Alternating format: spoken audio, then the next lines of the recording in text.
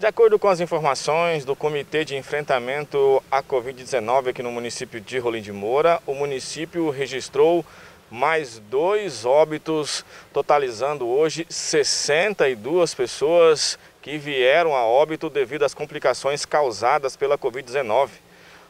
Na noite de ontem foi registrado o óbito de uma, de uma mulher de 55 anos, moradora do bairro Beira Rio.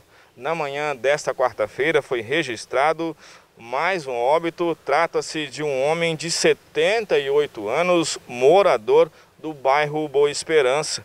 O nosso boletim aqui segue da seguinte forma.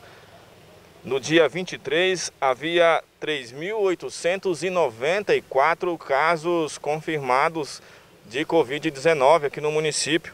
331 pessoas em tratamento domiciliar nove em tratamento hospitalar e ainda curados 3.493, esperando resultados de exames do LACEN, 44.